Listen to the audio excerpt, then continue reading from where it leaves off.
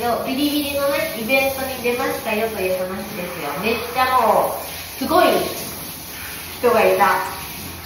あれ何人いたんだろう何人いたかわかんない。目視でちょっとわかんないくらいいっぱいの人間たちがいてくれて。歌ってたらね、一緒に歌ってくれたの楽しかったよ。一緒に歌ってくれてた。片思いを歌ったんですけど、そう。う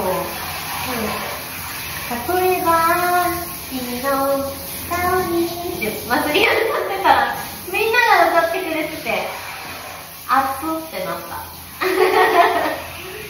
アップファイリウムもめっちゃ綺麗でさ、なんかあれなのかな？で電気の中の機械かなんかの連動か何かが起こってなのか、自動で色が変わってるっぽくて、よかった。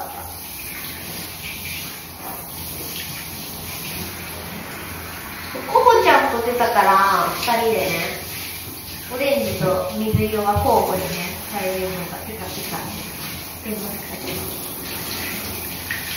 ど、楽しかったですよ。一緒に歌ってくれるのってさ、日本じゃあんまりないからさ、すごいなんか新鮮な気持ちで楽しめたよ。中国なの日本語で一緒に歌ってくれたのそうなんだよ日本語で一緒に歌ってくれたんだよ。例えばって歌ってたみんな、っ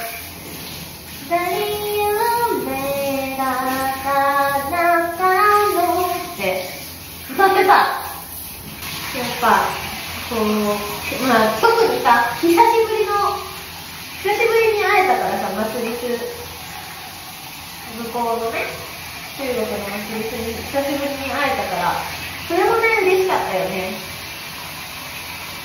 やっぱり好きでいてくれる人に会えるっていうのはね、幸せなことだなと思いますよ。でもみんな心配なことはいろいろあるけど、でも祭りとかファンの人はそこはあんま気にしないでいいかなと思ってます。そのなんだろう。気にしすぎないでね。まあやっぱ会社を信じて何とかしてくれるだろうと。だから、祭りのことを好きでいてくれる人と向き合おうと思いますね。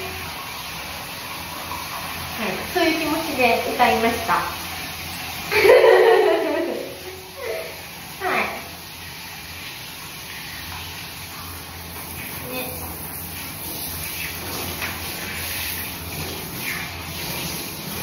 楽しめたというもので大成功でございますよ。